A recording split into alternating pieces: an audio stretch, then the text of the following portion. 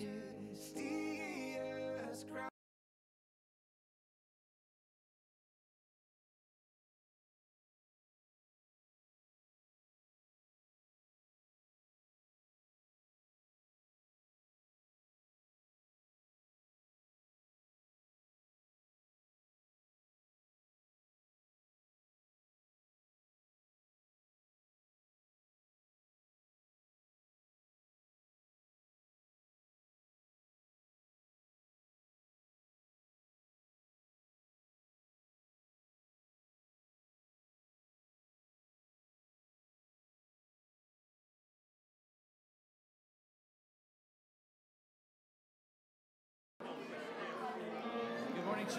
Let's stand together.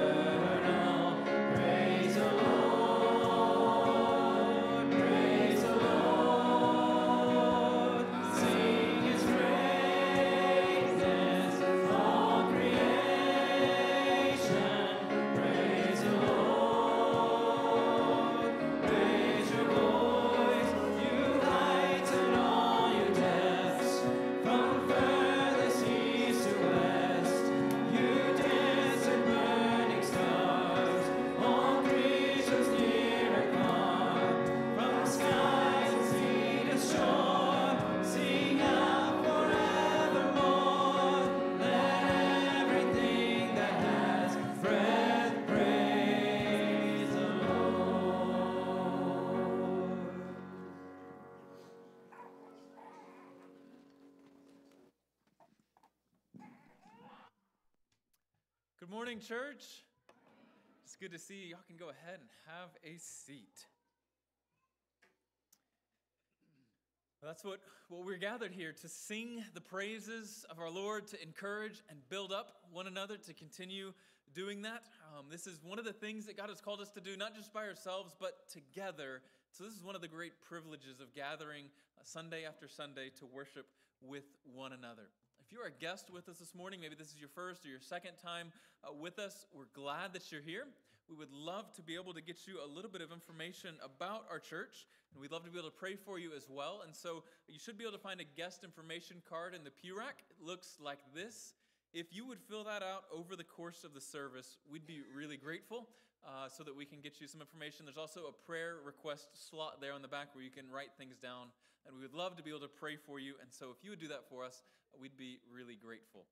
Um, VBS is also coming up sooner than we know. Uh, First full week in June is when VBS is. There is a sign up sheet on the welcome table in the foyer. Um, I believe Gina will be out there after the service is over. If you have some questions about that, she can help get you signed up. Um, and while you're also at the sign up at the uh, welcome table, there are new church directories there that have been updated and are fresh and ready for you to have. Um, one of the really helpful things about the directory is it can be used for a couple different things. One, if you're just kind of flipping through it regularly, this is a really good way to get to know everybody's names. Um, you've all been there, I'm sure, when you walk up to somebody and your mind goes blank on who somebody is. And this is a good way for us to uh, be intentional about learning one another. But they're also really helpful prayer guides. And so, if you ever find yourself uh, sitting down to pray and, and not sure what you might pray for that is outside of kind of the normal things that you pray for, a really good practice is to pray for those who we worship alongside of. And so, you can pray through the directory, maybe just a page at a time, pray that God would bless these people, reveal himself to them, that he would build us up in unity and maturity. Those are really, really good uh, prayer guides for you. And so, uh, hope you will grab one of those today and make good use of it. Psalm 12 will be our first scripture reading this morning. Psalm 12 says this Save, O Lord, for the godly one is gone, for the faithful have vanished from among the children of man.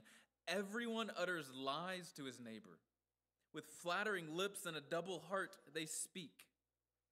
May the Lord cut off all flattering lips, the tongue that makes great boasts, those who say, With our tongue we will prevail, our lips are with us. Who is master over us? Because the poor are plundered, because the needy groan, I will now arise, says the Lord. I will place him in the safety for which he longs. The words of the Lord are pure words, like silver refined in a furnace, on the ground purified seven times. You, O Lord, will keep them. You will guard us from this generation forever. On every side, the wicked prowl, as vileness is exalted among the children of man. Pray with me.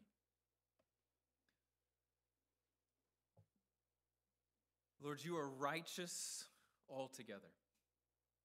You do right, you demand right, and you judge when right is not done. That's who you are, and and we praise you for that. For we would not want to serve a God who's not righteous. We would not want to serve a God who's not just. And so we praise you for who you are. Yet we also reckon with, with the psalmist and, and recognize that everyone utters lies to his neighbors. With flattering lips and a double heart, we speak. And so, even as we cry out for you to do right and to do justice, we realize that that puts us in a dangerous position. And so we find ourselves freshly thankful for Jesus, for his death and his resurrection, for forgiveness and hope and life.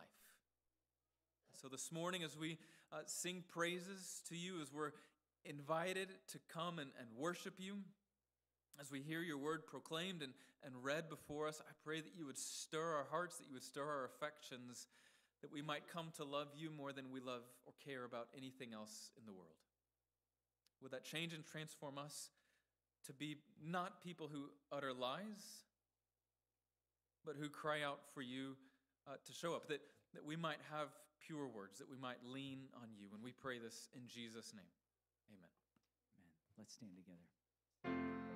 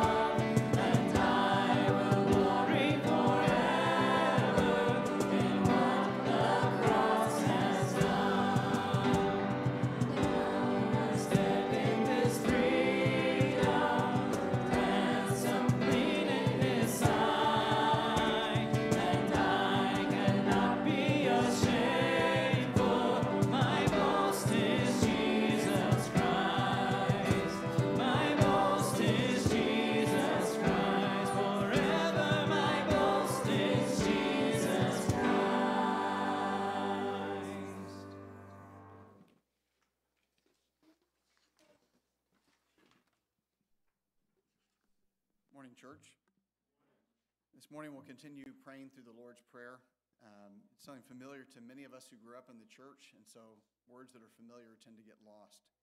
Uh, we're highlighting different ways that the Lord's Prayer teaches us how to pray, and this week we'll be talking about how it teaches us to petition. The Baptist Catechism would talk about six different petitions that are included in the Lord's Prayer.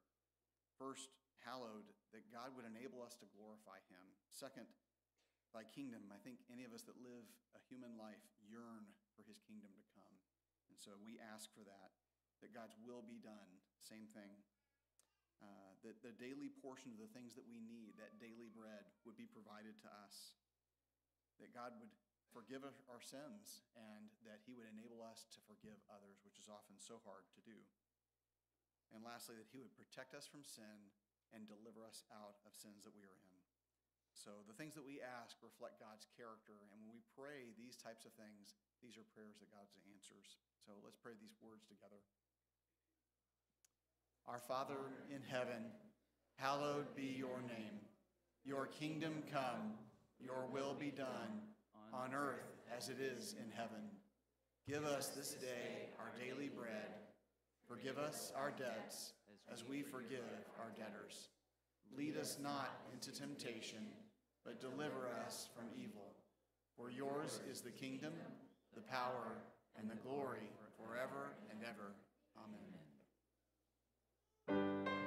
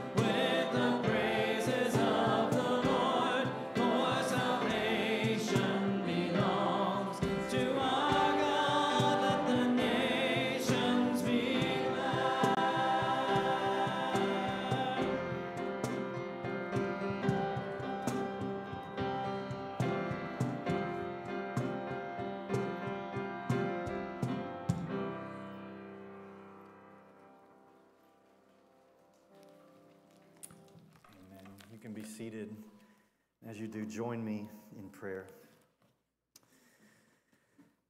O Father, who art in heaven, hallowed be your name. Let your name be hallowed in all of creation. Let your name be treated as holy among all the nations. Let your glory be seen and known and embraced to the ends of the earth. Oh God, let your gospel, the good news of Christ crucified and risen, be spread far and wide that the nations might be glad. Lord, we thank you this morning that the, that the gospel has reached even us. Thank you for the missionaries, evangelists who have taken this gospel literally around the globe so that we, right here in Central Texas, can know and believe in Jesus. God, we pray that this unfinished task would be taken up by us and that you would empower us and fill us with your spirit that we might declare, Hallowed be your name to the ends of the earth. Oh God, your will be done, your kingdom come. We need you. Help us to do your will as it's done in heaven. Help us to exalt and praise and worship you with everything that we do, with everything that we are. God, I pray this morning you would rescue us from small dreams and give us a grand ambition to make much of Jesus with every breath and every second and every opportunity you've given us in our day.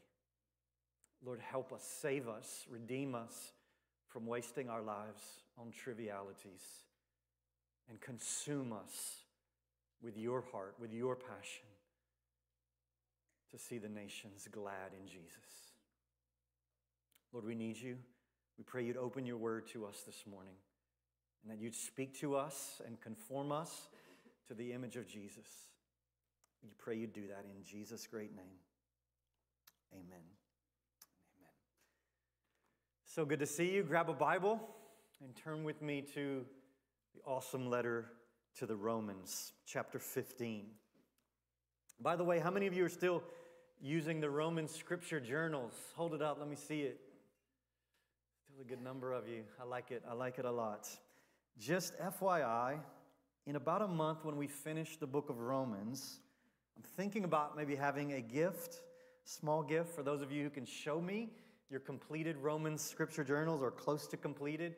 I just kind of want to see those and what they look like with all of your, your notes and all of your scribbles and underlines and everything in those. And so be listening for more details on that. Well, in our study of the book of Romans, we're beginning our final descent into landing this plane.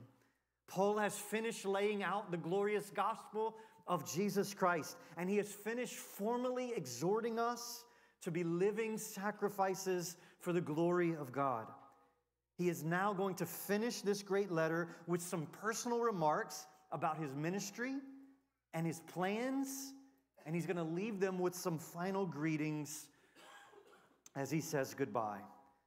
But even though Paul is about to land this plane, there is still a tremendous amount in, these la- in this last chapter and a half. And so keep your seatbelt fastened, as we believe all scripture is God breathed. Even these, these very mundane comments about his travel plans and his future and his greetings to the people in Rome. We believe all scripture is profitable and useful to build us up in the faith. And so this morning, Romans chapter 15, verses 14 through 21, follow along in your copy.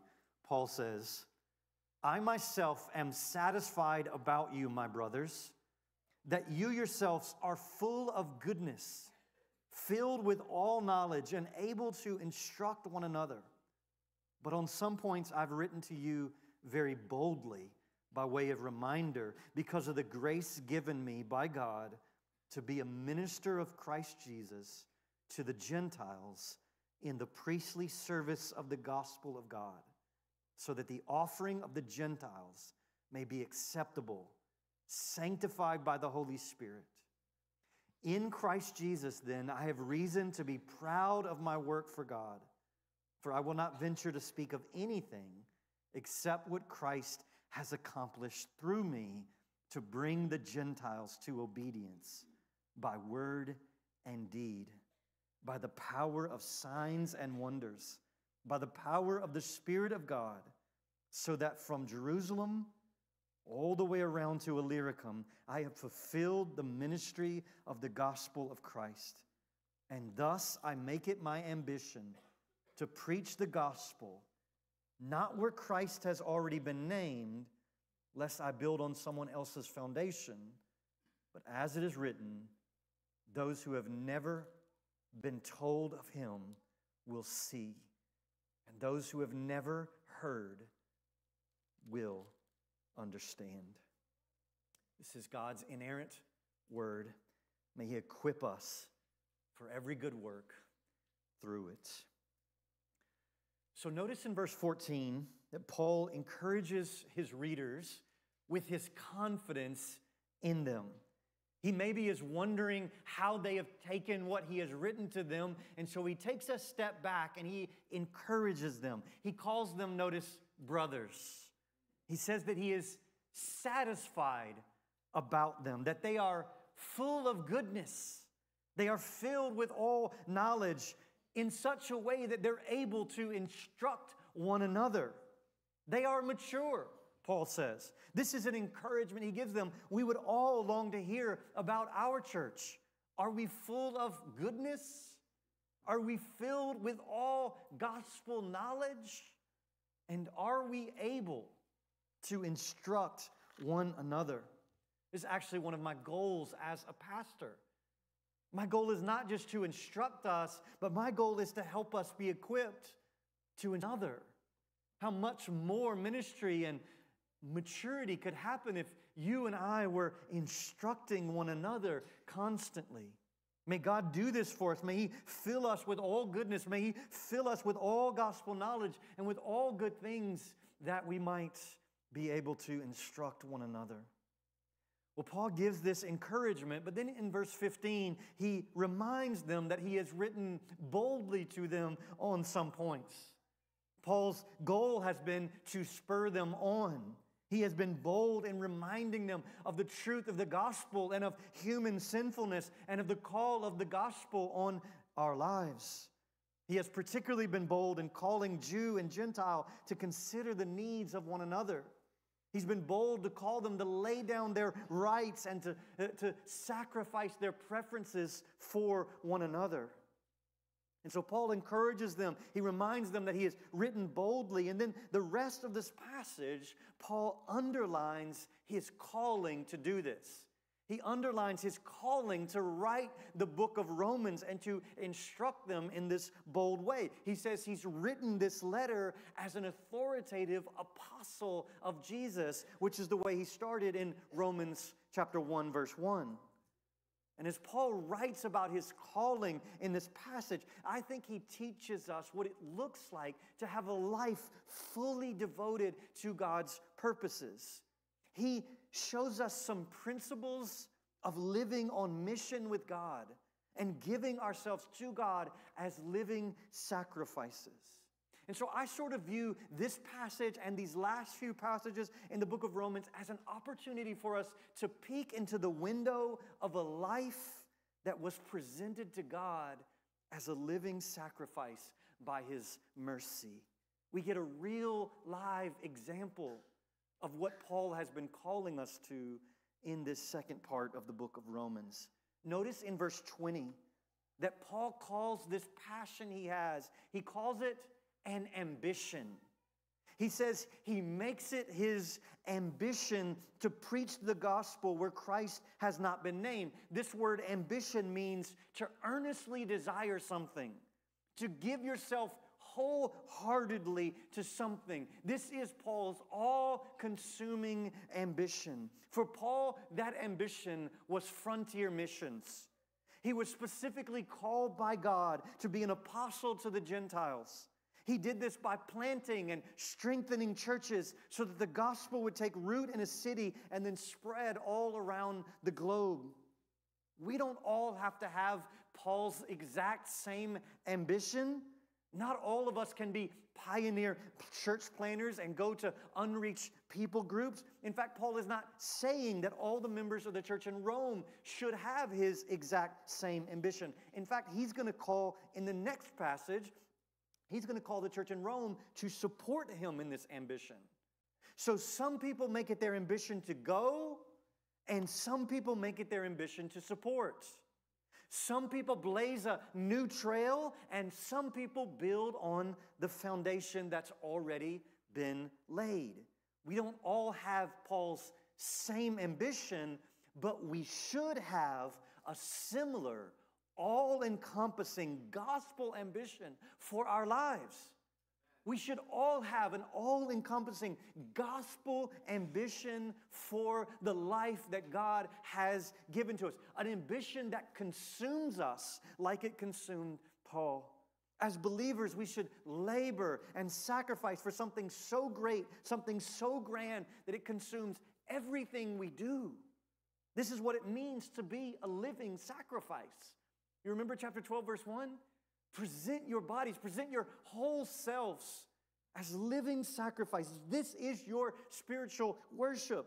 It means everything is devoted to God's purpose and God's calling on our lives. Not every Christian is a Paul, but by God's grace, every one of us should have a massive gospel ambition that we devote ourselves fully to. So, what is your all encompassing ambition? What is your ambition in life? Or maybe a better way for you to get at knowing what that is is to say, what would the people around you say is your all consuming ambition? What would people around you say you're living for? This is what he or she wants more than anything else. This is what he or she is aiming at in their lives. What's that ambition for you? Well, let's look in this passage and let's see what we can learn about having a gospel ambition. Not selfish or ungodly ambition, but to have an ambition that is centered around Christ and his mission. Let's allow Paul's example to challenge us to refocus our lives on the all encompassing ambition that we've been called to in Jesus. And so I want to highlight three characteristics of a gospel ambition from this passage. What does a gospel ambition look like? Number one, gospel ambition aims for God to be worshiped.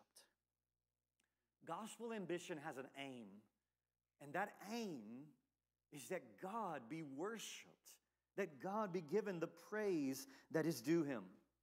This is the way Paul speaks of his calling here in this passage. Notice in verse 16, this calling is very unique that he shares. He views himself as something of a priest who is offering acceptable sacrifices to God. Notice what he says at the end of verse 15. He makes clear that it's God's grace that has called him to this task.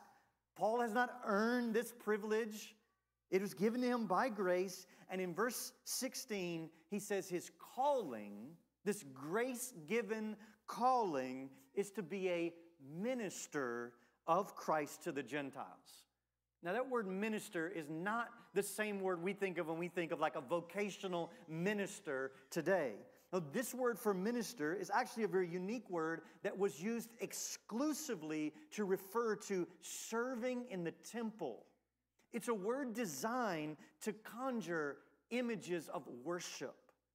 And then notice Paul makes clear how he views his labor by saying, in the priestly service of the gospel of God. My role, my calling is to be a minister in the priestly service of the gospel of God. Now, Paul is not saying he is a priest. Paul knows that Jesus, as our great high priest, is the only priest that we need. But Paul's ambition is to, is to present a priestly offering of worship to God. He understands his ambition in life to be offering acceptable sacrifices to God for God's glory. As Paul argued in the last passage that we looked at last week, Jesus came so that Gentiles would glorify God. This is why Christ came.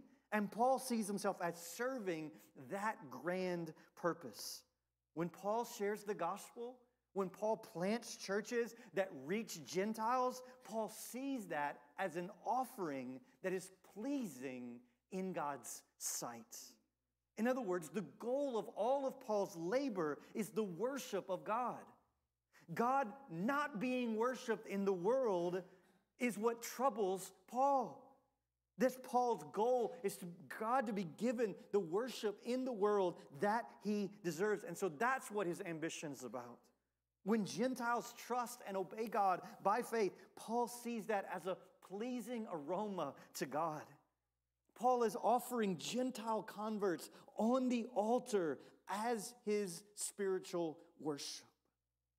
What if we had this perspective of our lives? What if we could somehow begin to see all of our life and all of our labor as an offering of worship to the holy God of all creation? Like, what if you and I woke up every morning and devoted ourselves and all that we were to do that day to the worship of God? What if we saw cookies baked for a neighbor as a sacrifice on God's altar? What if we saw a meal delivered to a sick church member as a priestly offering to God? What if we saw volunteering to serve in the nursery or at vacation Bible school as a liturgy to God? What if we saw engaging a coworker with the truth of the gospel as a song sung around the throne of God? What if a well taught Bible study class was seen as a sweet fragrance to God? You see, Paul had a sacred, reverent view of his life and labor. He wanted God to be glorified more than anything else in all the world. He wasn't offering animal sacrifices to God, but he was offering converted Gentiles as acceptable sacrifices. Friends, I think if we had this kind of all encompassing gospel ambition, it would free us from the mundane, unexciting, unengaged, boring lives we often live. If we took 1 Corinthians 10:31 seriously, there would never be a boring moment of our lives. 1 Corinthians 10:31. So whether you eat or drink or whatever you do, do it all for the glory of God. In Romans chapter 12, verse 1, Paul called us by the mercies of God to present ourselves as a living sacrifice, holy and acceptable to God, which is our spiritual worship. Church, it's not only who we are, but also what we do that we present to God for the fame of his name. In other words, aim to glorify God in all of your life, in all of your labor, in all that you do. Listen, if your life's ambition doesn't aim at God being worshiped, your ambition is too small. If this isn't the ultimate aim of who you are and why you do what you do, then your life ambition is too small. This is what a gospel ambition is it aims at God being worshiped. Here's the second characteristic of a gospel ambition we learn from this passage gospel ambition gladly gives all credit for success to our triune God. This is really a subset of the first characteristic, but it's true. Gospel ambition gladly gives all credit for success to our triune God. As Christians, we believe that there is one God who exists in three persons the Father is God, the Son is God, the Holy Spirit is God, but there are not three gods, but one triune God. And in this passage, Paul exults in the work of the Father, the Son, and the Holy Spirit. Notice that in verse 15, Paul says his ministry was given to him by the grace of God. In other words, Paul didn't choose this like we choose a vocation. This was amazing grace from God that was given to him. And so he views all of his ministry as a gift of God's grace. Also, look at the end of verse 16. After describing his priestly ministry, offering Gentiles as acceptable sacrifice of worship, he adds, sanctified by the Holy Spirit. I'm offering these gifts, these offerings, sanctified by the Holy Spirit. So Paul is laboring for Gentiles to be converted, but it's the Spirit specifically who sanctifies Paul's offering. In other words, apart from the transforming work of the Spirit, the offering would not be acceptable. The offering would not be pleasing in God's sight. The Gentiles would not be sanctified, and Paul's labor would be in vain. Also, look at verse 18. Paul says that he dare not speak of anything except what Christ has accomplished through him. I dare not speak of anything except for what Jesus has accomplished. And so you see what Paul is doing? He's giving all credit for his success to God, specifically God the Son, the Lord Jesus. So notice it. It's the Father's grace to give Paul this ministry. The Holy Spirit does the transforming work of sanctifying the offering, and Jesus is the one who accomplishes all of this good work. Paul's all encompassing gospel ambition is Trinitarian. He is commissioned by the Father, empowered by the Spirit, and exulting in the enablement of Jesus to do anything good, to do anything that would please God. This humbles Paul. And notice in verse 17 what he says about his work. Notice Paul is not boasting in himself. Paul is not boasting in his own work. He says he is proud of his work for God. And when he says that, he makes clear that it's not pride in himself or pride in what he's done in his own strength. How is he proud? Notice it. He is proud in Christ Jesus. In Christ Jesus, then, I am I have no re- I have reason to be proud of my work for God. It is in Christ that he is proud. Friends, it is good and right to be proud of what God accomplishes through you in Jesus. And right to celebrate what God does through you in Jesus. Because what we do in Jesus resounds to his glory, not our own. Any credit for fruit, any credit for success in all of our lives is God's, and we are foolish to take it for ourselves. In all of our obedience, in all of our sacrifice, it is God at work enabling us so that when we boast, our boast is in Him alone. That's what Paul is proud of. That's what he is speaking about. He says he refuses to speak of anything except what Jesus has accomplished through him in verse 18. Friends, what would it look like if you and I had this kind of all encompassing ambition that gave all credit to God? We should talk like this, friends. Here's one of the ways we can help one another in community. We should talk like this. Whenever we do something for God, anything, we should say, Look what Jesus has done. Look what the Spirit enabled me to do. Look what grace God has given me. When we see fruit from our labors, we should be quick to give all credit to our triune God. When you teach a good lesson to kids, you should thank Jesus for what he did. When you perform a, success, a successful surgery, you should marvel at the grace given to you.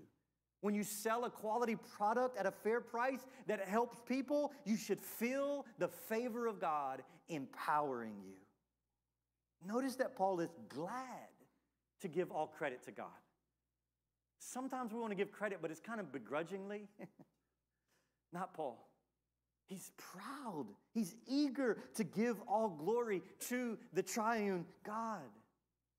We also see Paul's gladness in the fact that he highlights some of how God accomplished this work through him. In verses 18 and 19, he says, God accomplished this work through him. In other words, what did you do, Paul?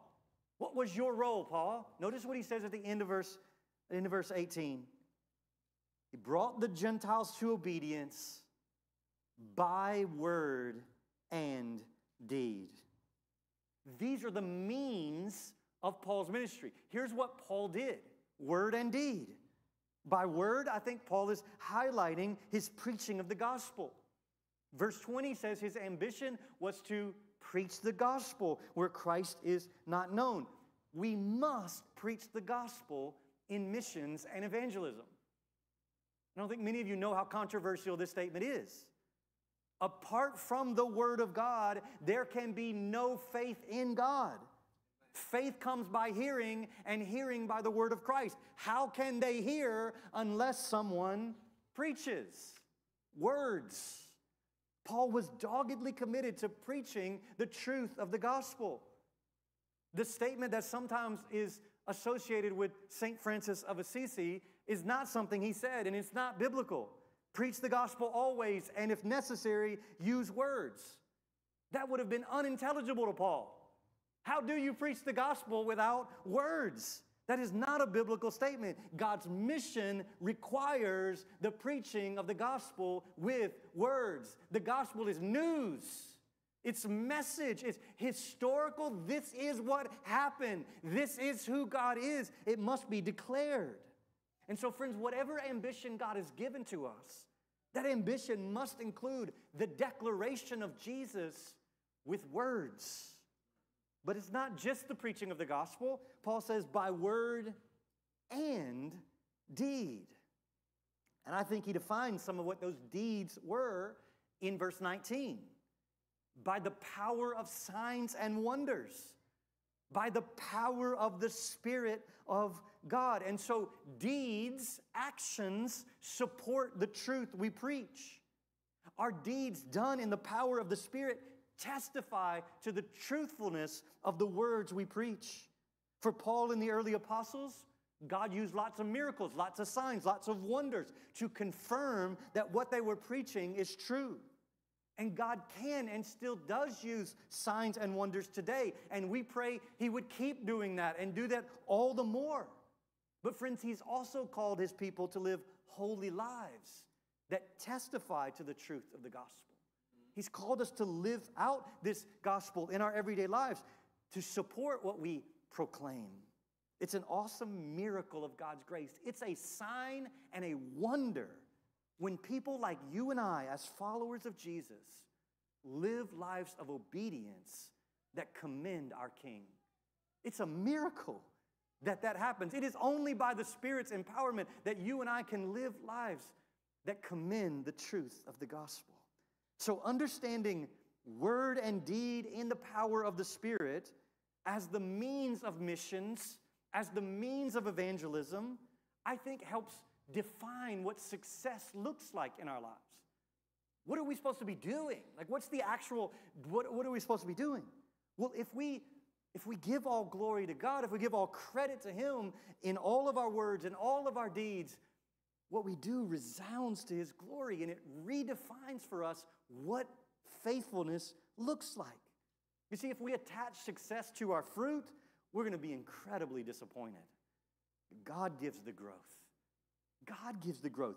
This should liberate us, friends. Our role is to be faithful, preach the gospel, and live faithful lives, planting and watering, planting and watering. And friends, this should give massive humility to us and confidence in the ambition that God has called us to by word and by deed. Listen, He has not called us to preach and live in our own power. He's not called us to do it ourselves. That would be sad news. That would be burdening news this morning.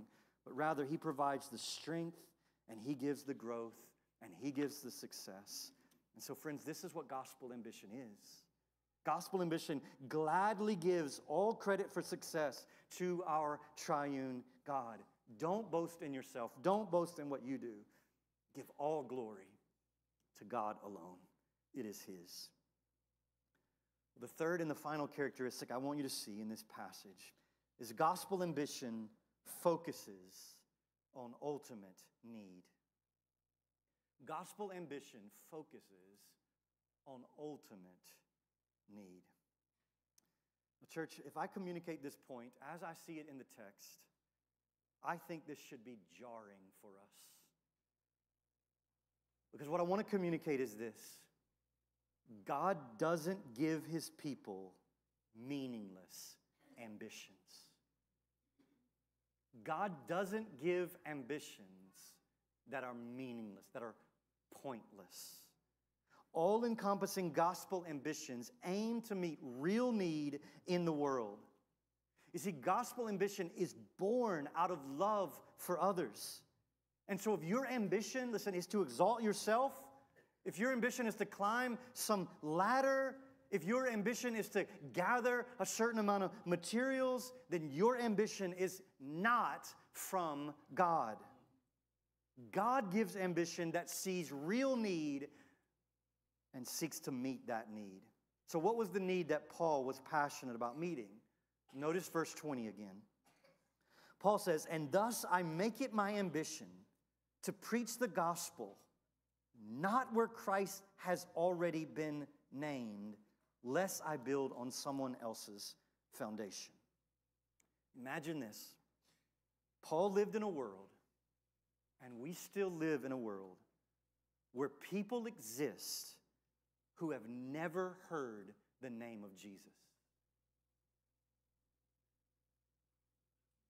Paul opened his eyes and he saw that there were people who were born, lived an entire life, died, having never heard the name of Jesus.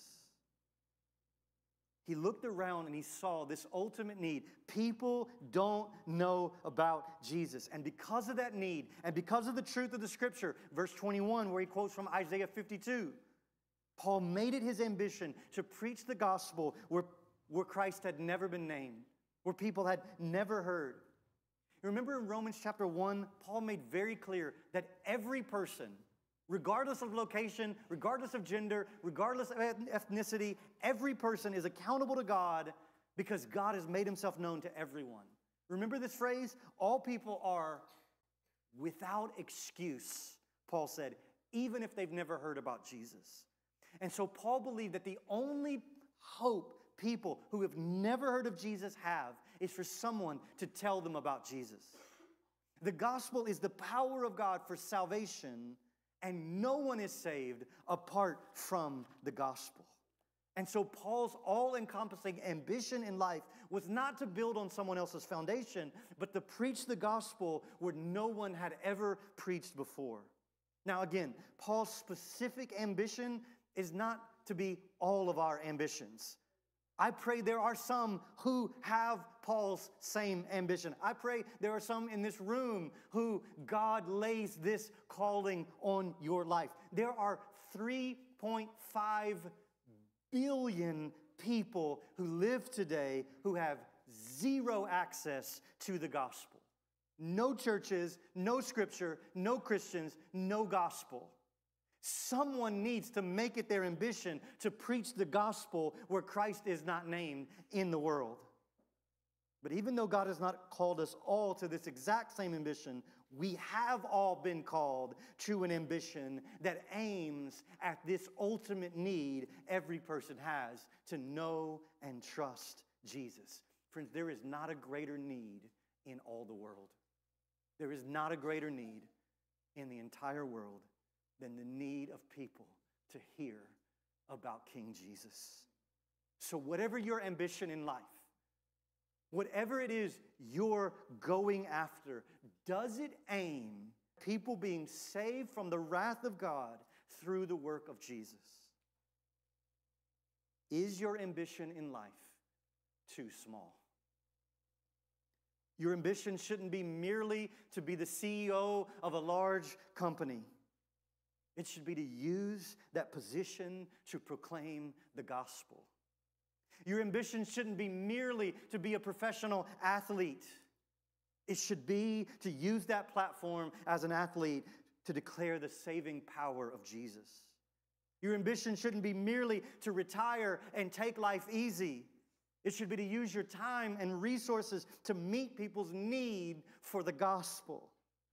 Some of us need to open our eyes and see the need around us and change our life's ambition. That's what I've been praying for this week that this morning God would change some of our ambitions. that we were heading one way, going after something that's far too small for a child of God, and that God would set us on the trajectory of the all encompassing ambition that we've all been called to have. God has called us all to be consumed with meeting the need that everyone has for the gospel of Jesus Christ. Now, before I ask some, some evaluative questions, I want you to see something else about this great need that Paul saw. I want us to see how Paul understood the best way to fulfill this God given ambition. And I think there's a lesson here for us. Notice that Paul says in verse 19 that from Jerusalem all the way around to Illyricum, he has fulfilled his ministry. Now, listen, we're going to see next week in verse 23 that Paul goes even further with this statement and he says there's no more work for him in this area. He has fully exhausted his calling in these areas. This is an absolutely amazing statement. Like, let's throw a map up on the screen just to, I don't know if you can see it or not, but it, it captures just how much area there was between Jerusalem and Illyricum. All of that area, there are a lot of people in that area. And there are a lot of cities in that area. And Paul says he's done with that area. He has fully preached the gospel in that entire area. How can he say that? How can he say that there's no more work left to do in that area? We know everyone in that area is not a Christian. Paul writes to Timothy and tells Timothy to do the work of an evangelist. That means there are people Timothy needs to evangelize. What does Paul mean? Well, what Paul means is that this area now already has gospel witness. You see, Paul has spent more than a decade planting churches in this area. And he has strengthened those churches to be healthy gospel witnesses to this entire area. And so Paul's mission strategy was to plant churches in big cities, and then those churches were to radiate the gospel outward. And so I think one of the implications of this statement is that the Great Commission is accomplished through local churches. The Great Commission is accomplished through local churches. Paul didn't just preach from house to house or, or business to business. No, he established churches that would be the gospel witness in this area. And so it's not that there's no more unbelievers to evangelize in this area, but rather those unbelievers now have gospel witness. They have churches around them to spread the gospel to them. And so Paul wants to move on to preach the gospel, to plant churches where there are no gospel churches. So we could say that according to Paul, one of the greatest needs in the world is the planting and strengthening of local churches. One of the greatest needs in all the world is the planting and strengthening of local churches. It is through gospel centered churches that those who have never been told of Jesus will see, and those who have never heard will understand. Verse 21. May God give us a gospel ambition that seeks to meet the ultimate need that every person has in all the world. Well, let me offer two evaluative questions as we conclude. I want you to ask yourself these questions. First, what is your ambition in life? What is your ambition? Or maybe I should even ask before that do you even have an ambition? It's common today for people just to sort of float along, coast along with no ambition at all. But if you have an ambition, what is it? What do you dream about? What, what do you sacrifice for? What consumes you? What do you want more than anything else in life? What is your ambition? And after you consider honestly what your ambition is, secondly, ask yourself this question Does your ambition include God being glorified and people hearing about Jesus? Does your life ambition include God being glorified and people hearing about Jesus? Well, church, I pray that you allow Paul's example to free you from small ambitions. You see, I think having a grand, all encompassing ambition is the most freeing thing in all the world. I think people view life mainly as a boring cycle of the same old thing every day, endless dr- toil, endless drudgery, but not Paul. Paul didn't see life like that. Paul looked forward to spending the rest of his life in fruitful labor for the Lord Jesus Christ. Did you know when Paul wrote this? He is probably about 60 years old when he wrote this. In a world where people didn't live to be 90. Paul, in every sense of the word, would have been considered by us a senior citizen. And here he is saying, I still got work to do. I still have an ambition. I still want my life to count for something. Friends, you aren't too old and you aren't too young to have an all encompassing gospel ambition for the rest of your life, however many more days God gives you. I urge you, I plead with you, don't spend your life just getting by with the bare minimum.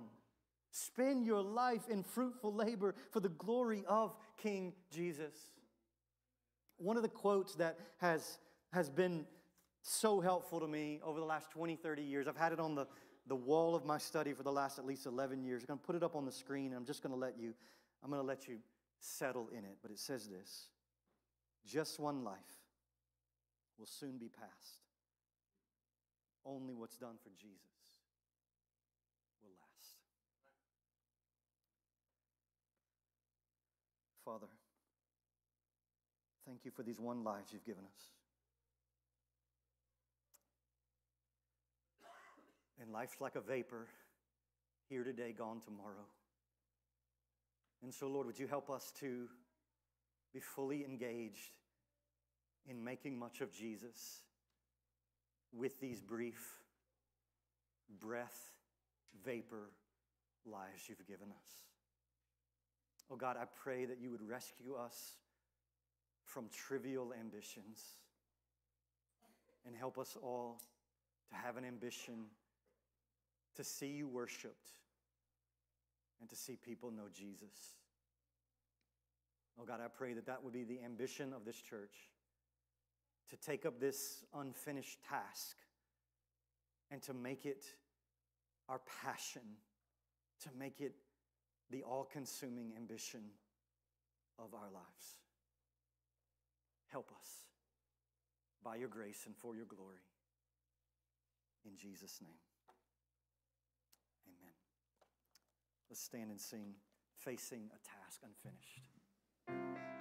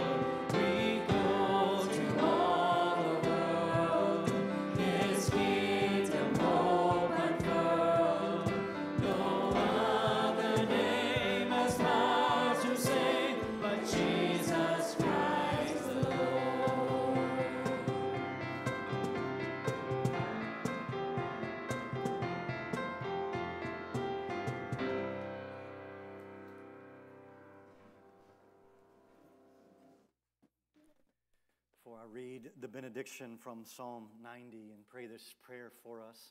I want to say if you're here and you don't know Jesus as your Savior, we would love to talk with you more about that. You can come see me.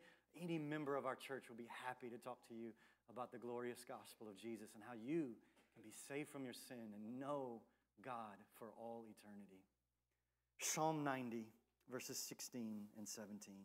Let your work be shown to your servants and your glorious power to their children. Let the favor of the Lord our God be upon us and establish the work of our hands upon us. Yes, establish the work of our hands. You're sent. Have a great day.